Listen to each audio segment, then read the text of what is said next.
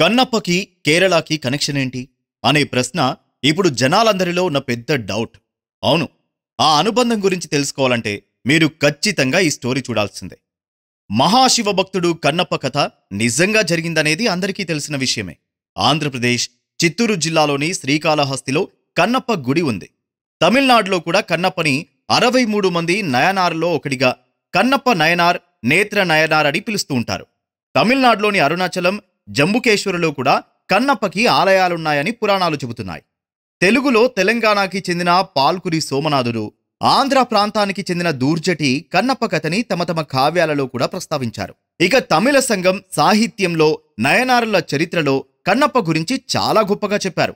అలాగే కన్నడంలో కూడా కన్నప్ప కథ గురించి చాలా గ్రంథాల్లో రాశారు. తెలుగులో మొదట రెబల్ స్టార్ కృష్ణంరాజు గారి భక్త కన్నప్ప కన్నడంలో రాజ్ కుమార్ గారి బేడర కన్నప్ప శివ మెచ్చిద కన్నప్ప అనే సినిమాలు ఒకప్పుడు ఇండస్ట్రీ బ్లాక్ బస్టర్స్గా నిలిచాయి.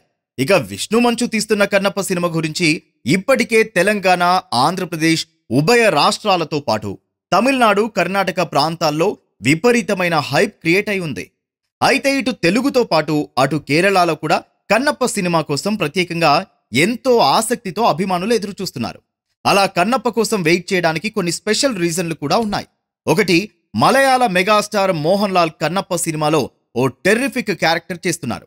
దాంతోపాటు కేరళలోని చాలక్కుడిలో జన్మించిన జగద్గురువు ఆదిశంకరాచార్యుల వారు కన్నప్ప గురించి మొదటిసారి తన కావ్యంలో ప్రస్తావించారు. ఏడవ శతాబ్దంలో ఆదిశంకరాచార్యుల వారు శ్రీశైలం సందర్శించినప్పుడు ఆ మహాపుణ్యక్షేత్రంలో కొన్ని రోజుల పాటు అక్కడే ఉండి శివానంద లహరి అనే భక్తి శతకం రాశారు. శివానంద లహరిలో శివుడికి మాంసం నైవేద్యం పెట్టి పరమేశ్వరుడికి నేత్రదానం చేసి శివుడి మహాభక్తుల్లో ఒకడివయ్యావు అని ఆదిశంకరాచార్యుల వారు కన్నప్ప ఘనత చెప్పారు. హిస్టారికల్గా కన్నప్ప గురించి మొట్టమొదట రికార్డైంది శివానంద లహరిలోనే. తమ జగద్గురువు ఆదిశంకరాచార్యుల వారినే మెప్పించిన కన్నప్ప కథ తెలుసుకోవడానికి మలయాళీలు చాలా చాలా ఆసక్తిగా ఎదురుచూస్తున్నారు.